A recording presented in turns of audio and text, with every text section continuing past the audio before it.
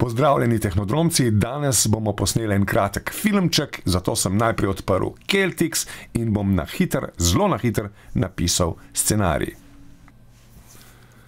Takole, zdaj moramo pa to posneti. Snemamo. Ha, ha, ha, ha, ha, ha. Jaz sem hudič in te bom pogubil. Ha, ha, ha, ha, ha, ha,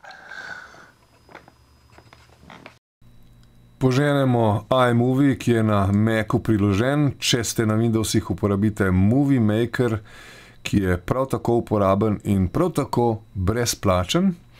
Kam sem pa dal telefilmčke? Semle sem jih pospravil, ker sem zelo redoljuben. V direktorij snemamo film in tule so.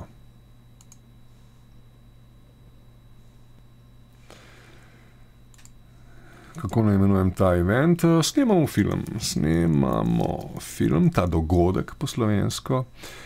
Videa ne bom optimiziral in prekopiral bom, a ne, kar prestavil bom datoteke.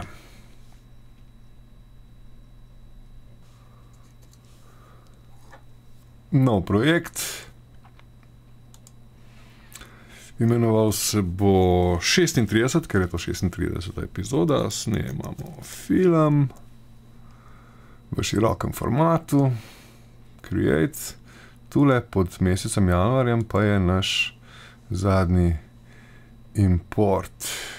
Zelo odlično.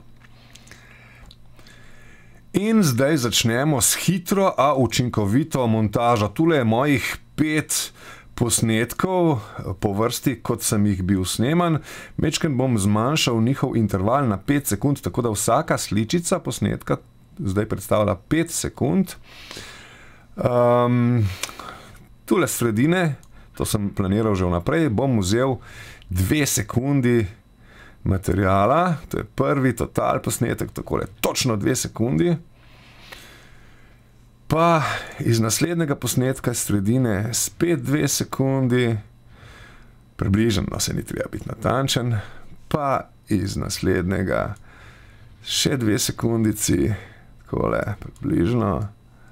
In še iz naslednjega dve sekundi. Takole, to izgleda nekako takole, en tak Eisensteinovski, MTV-jevski pretrgani zoom, Tako napet. Modrec meditira, potem pa se začne akcija, poglejmo, tule vpade, vpade hudič. Tule se začne smejati.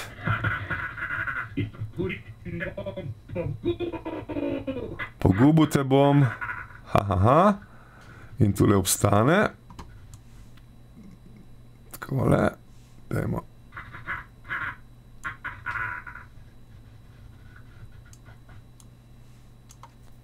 Noter in še zadnji konec, ko mu modrec odgovori. Prekleti hudič, ne verjamem vate. Tule. Od tule.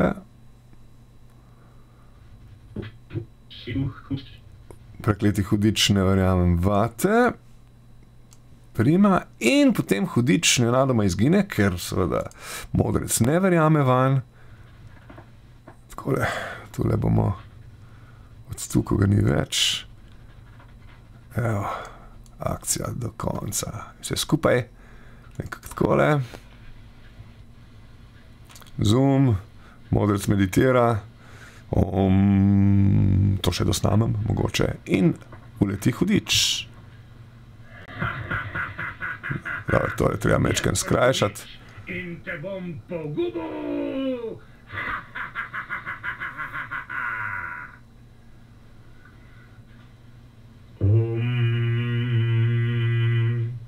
Jaz pa ne verjamem vate, prekleti hudič.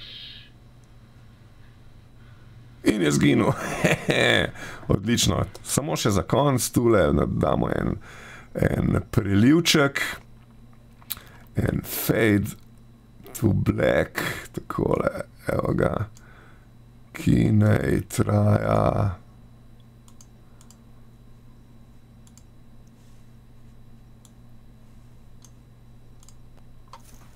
Uh, recimo dve sekundi.